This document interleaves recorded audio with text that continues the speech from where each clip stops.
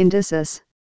The act of developing a new coat of hair, a new set of feathers, scales, etc., opposed to ecdysis.